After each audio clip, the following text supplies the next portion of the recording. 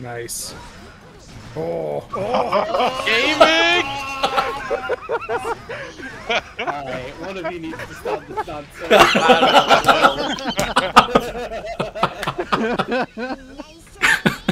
Who will compromise on their morals first?